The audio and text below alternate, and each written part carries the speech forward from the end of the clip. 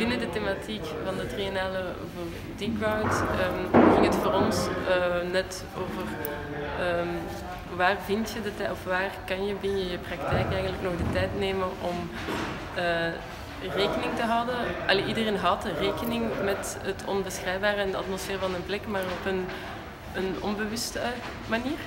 Heeft elke praktijk wel zijn manier om dat te integreren. En met het project willen we een moment vinden om die tijd, of die, dat, dat onbewust handelen ook te benoemen, of te proberen te benoemen, ook al is dat niet per se eenduidig, maar daar wel even bij stil te staan als een soort van een pauzemoment in naast al die, die kwantificerende elementen zoals het programma en, en normen waarvan, waar, die ons opgelegd worden en waar dat we wel rekening mee gaan en actief mee omgaan.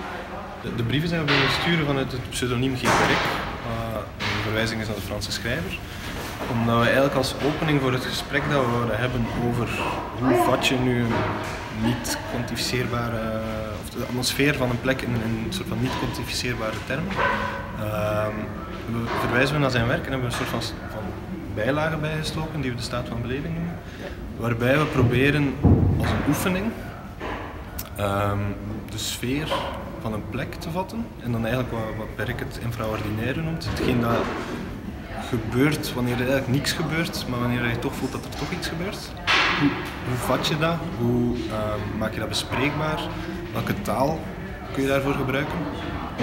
En we hebben een soort van oefening daarvoor gedaan als opening tot het gesprek. En eigenlijk is de vraag aan architecten die we hebben aangeschreven, is dit relevant? Hoe gaan jullie daarmee om? Uh, op welke manier kan dit uh, belangrijk zijn voor het ontwerpen? En dus wat we presenteren hier is de hele correspondentie met architecten, vooral uit Brussel en België. Um, met antwoorden, non-antwoorden en geen antwoorden. De hele um, briefwisseling die we gevoerd hebben het voorbije jaar.